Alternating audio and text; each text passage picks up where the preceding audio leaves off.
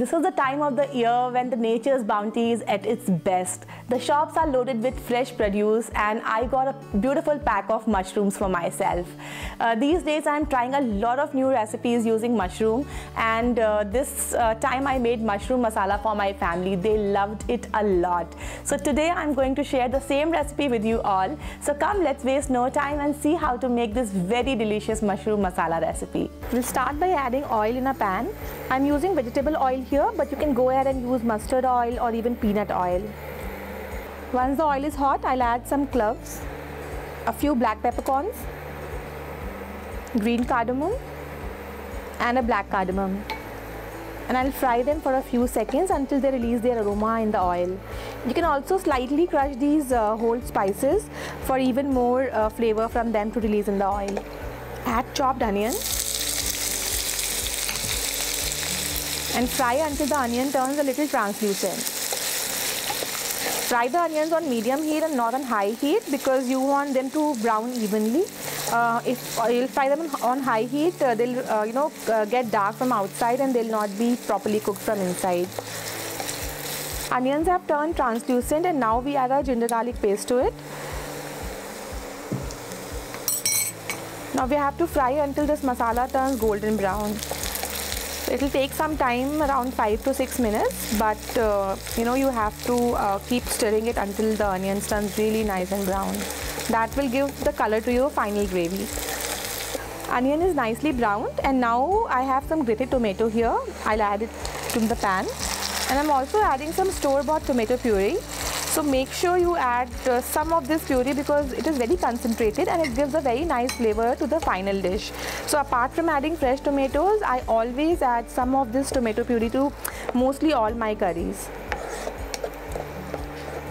I have cooked this mixture for 2 to 3 minutes after adding tomatoes and now I'm going to add our dry masalas to it. I'm adding lots of coriander powder, approximately 2 teaspoons I'm also adding uh, 2 teaspoon of Kashmiri red chili powder. You can reduce or increase the amount as per your liking.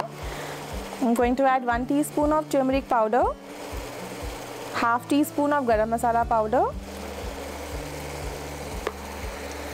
half teaspoon of uh, black pepper powder and salt to taste.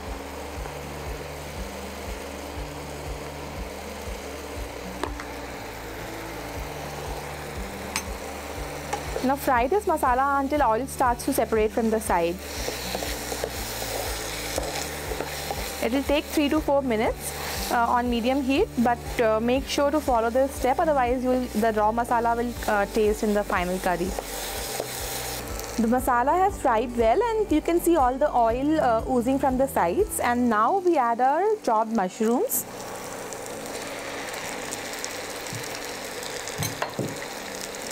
And capsicum to it. You can also add some green peas to this curry if you wish to. Uh, but capsicum gives a very nice, um, you know, spicy kick to it. So I really recommend adding it. Just give it a quick stir so that all the masala coats the mushroom and the capsicum.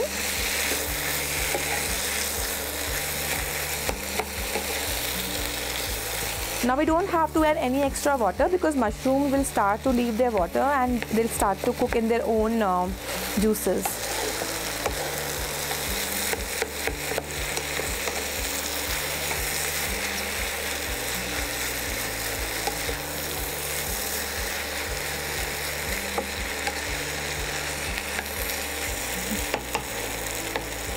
Coated well and now we just cover the pan and let the mushroom cook on low heat for 10 to 15 minutes until they are nicely cooked.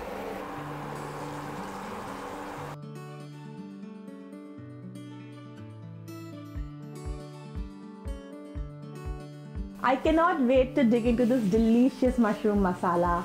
And if you like the recipe too, do not forget to make it in your kitchen and do not forget to like, share and subscribe to our YouTube channel.